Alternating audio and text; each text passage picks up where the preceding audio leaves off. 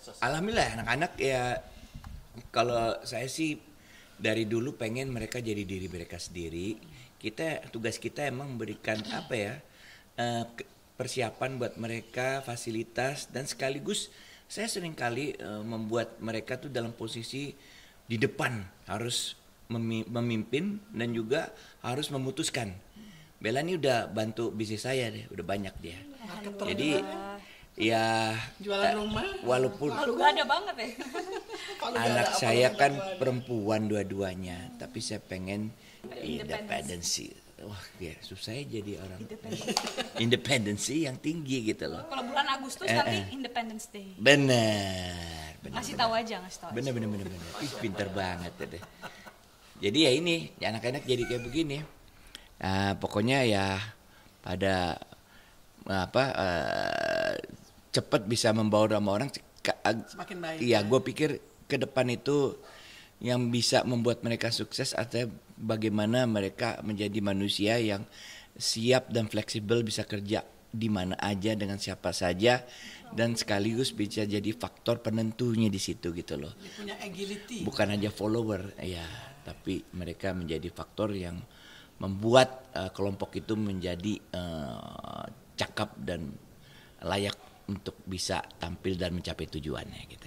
Merdeka. kontribusi. Oh salah ya, belum Uh, ibu gimana ibu?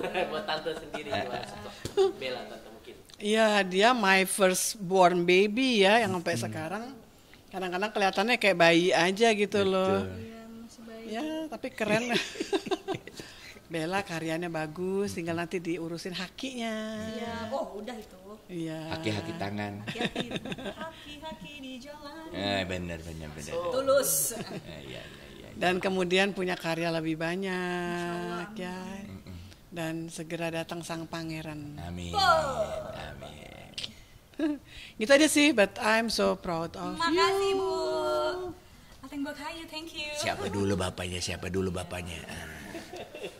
Gitu deh guys. Nih emak gue tuh bisa masak ya, terus ibu tuh paham ilmu halal bisnis ya kan, bisnis syariah ibu tuh ha- eh, paham. Jadi kalau misalnya ada teman-teman yang pengen tanya tentang bisnis syariah, keuangan syariah, terus apa eh, makanan-makanan yang ya gimana cara supaya kalian tuh bisa halal, supaya lebih muslim friendly, itu tuh ibuku tuh bisa diajakin jadi bintang Guys, tamu. sudah terjawab ya. Ah, gitu. Makasih nak. Dan ibuku tuh youtuber juga, ya lumayan kan? ya. Lumayan. Kemarin loh. sempat 3 juta ya. Oh, naik turun sih. Tapi udah pengen kayak yang lain tuh 30 juta. Iya. Dan ibu tuh udah collab sama Tante Vena Melinda, sama Angelina Angel Sonda, Sonda, gitu kan. Tamu Tere. Tere, iya. Betul. Mesti lebih banyak lagi yang insya Allah nanti eh, sudah bersedia tuh Mbak eh, Nini Karlina yang apa namanya kalau bulan bisa ngomong belum lahir kan? Sama Dul Sumbang. Sama Fitri Karlina yang suaminya pilot yang di Oman sekarang di Muscat.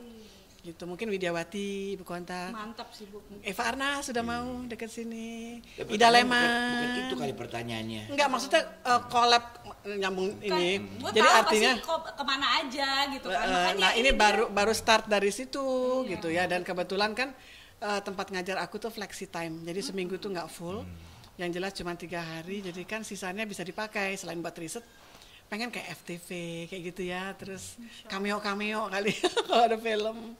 Bisa yang gitu. islami lah yang islami ya bu ya. Best Iya, aktris Iya, best aktris dulu ya di Taipei, best supporting actress. Dan ada baru ketemu tuh ya piagam yang ada tanda Iya, tangan. Gus Dur. Ya Allah hampir kebuang tuh karena kita numpuk waktu itu ya pindahan juga. Dan ya masih kepengen sih, Iya. tapi tentunya udah nggak kayak dulu. Peran antagonis pasti nggak diterima karena nanti kabur semua mahasiswa bimbingan. Padahal aku baik hati dan Dosen tidak sombong. Nah, kebetulan ibu enggak. Jadi eh, ibu berapa kali apa ya terpilih sebagai dosen yang paling disukai S1 maupun S2 di Indonesia Banking School. Bukan karena ibu royal ngasih A, karena ada juga yang dapat D ya kalau emang terlalu. Tapi intinya intinya mereka suka dengan ilmu yang ibu transfer ke mereka dan aku kalau membimbing tesis atau skripsi itu termasuk katanya cukup sabar. Oh, Oke. Gitu ya dan kemudian eh, memang sering ngasih A kalau memang layak gitu loh. Iya iya. Jadi emang bidang itu adalah bidangku sebagai apa ya, sebagai merek, sebagai stigma ya bahwa artis sekolahan dan alhamdulillah memang sekarang banyak juga artis yang jadi dosen ya. Cuman mereka tidak terdaftar di Dikti. Jadi yang betul-betul legal bisa sampai yang terakhir gitu sampai profesor itu yang terdaftar dalam PDPT Dikti namanya. Baru ibu sih peraturannya itu. peraturan. Jadi semua rule of law, rule of thumb dari dari Kemendikti gitu ya. Sekarang Kemendikbud itu yang diikuti sampai terakhir nanti. Iya, iya. Doain aja teman-teman di mana pun anda berada, ya mungkin dua tahun lagi bisa GB full guru besar ya. Kalau belum keburu mati, memang saya sehat ya itu aja. Iya. Soalnya ibu tuh sekarang emang lebih ke pendidikan dan juga eh, apa penggiat halal lah gitu Iya. ya. Dan itu influencer. Influencer. Dan- tapi tema-temanya juga masih yang Islami, gitu, Iya, sejarah yang mengajak, Islam, iya, ya kan, gitu. mengajak kepada kebaikan dan kemudian manajemen rumah tangga. Makanya kalau ditanya begini kan aku seneng aja Iya. karena membagi tips di tengah apa ya lingkungan kita. Kalau kita boleh jujur umur berapapun kawin cerai itu kayaknya gampang sekali. Jadi kalau bisa jangan deh gitu ya, karena ya kayak kita nikah hampir 37 tahun gini juga bukan tanpa kendala ya ayah ya, tapi gimana eh, bereaksi terhadap ya kondisi hidup, tantangan. Nggak ada yang sempurna. nggak ada yang sempurna kita belum di surga. Tapi intinya satu jangan cerai. Iya bertahan aja Komitmen gitu. ya. komitmen gitu. Gimana ya kalau kita lagi berantem?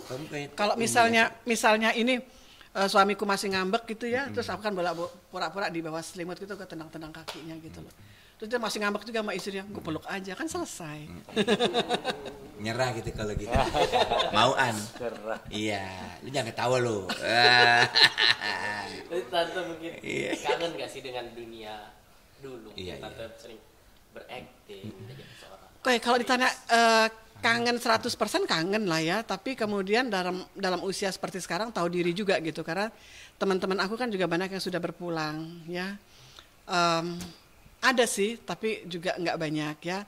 Yang generasi kalian kamu tuh angkatan-angkatan milenial, Gen Z ya, Gen Z aku banyak yang juga nggak nggak paham gitu. Banyak banget sih sekarang ya artis ya. Eh, eh, jadi aku belum terlalu ngikuti, tapi kalau ditanya apakah jika ada peran yang cocok, mau banget gitu ya. Harga ngikutin deh yang penting eh, main dulu dan bisa sambil update status. Boleh sedikit sepotong-sepotong buat YouTube sama Instagram. Oh. Eh, Jangan boncos Oh, iya, Iya, jangan benar, boncos. jangan boncos. gitu. Oke.